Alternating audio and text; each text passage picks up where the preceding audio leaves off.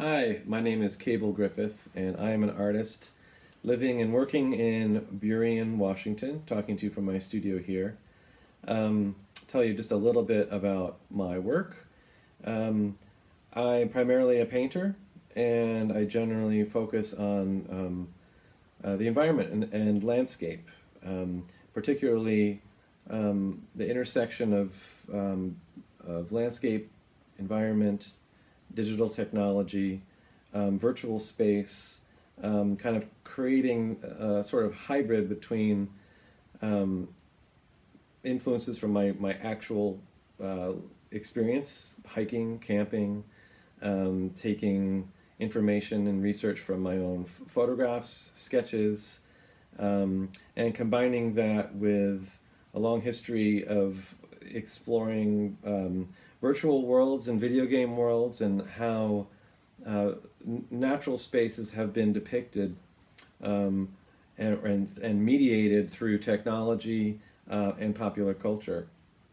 Um, so all of those influences, including, of course, uh, the history of landscape painting, all kind of come together and uh, and mash up. And I tend to um, really enjoy uh, settling into that space and have um, create various bodies of work sometimes that address different issues in particular, but I'd say that's kind of one of the most common um, common foundations for a lot of my work.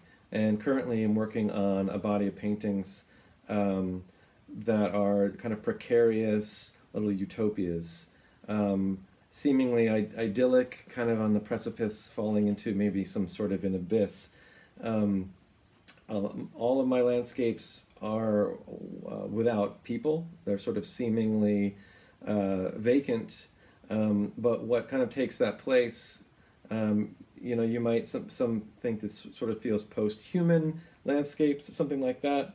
Um, but that there's some sort of life force that emerges or some part of this nature that evolves uh, into something else. So I still feel like that this is landscape, um, but it's also figurative uh, and these characters and figures within the landscape start to kind of suggest or play out um, some kinds of narratives or events. So um, that's all I'll share for now. Thanks for watching.